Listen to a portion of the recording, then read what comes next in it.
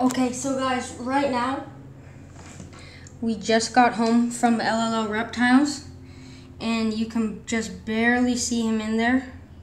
And I got him just like, we seriously just got him. And here, let me show you all the other stuff that we got him. So we got feeding tongs, and we got two four quart bags. And then we got some food, which I won't show you right now, but I'm just gonna show you what he looks like right now.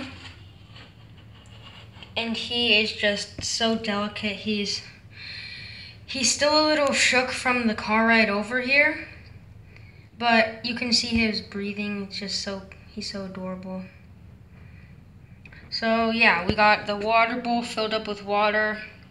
And this is just gonna be his quarantine setup. And then after he grows out of the, after he grows out of this, like this setup, then um, we'll turn, we'll put him into a 20 gallon, 20 gallon um, uh, like glass aquarium.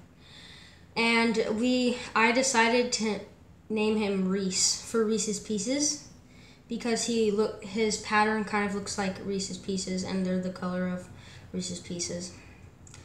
So yeah, I'm just I'm super duper happy about how it turned out. The pers the people there were just so helpful at LLL Reptiles and just see you guys later.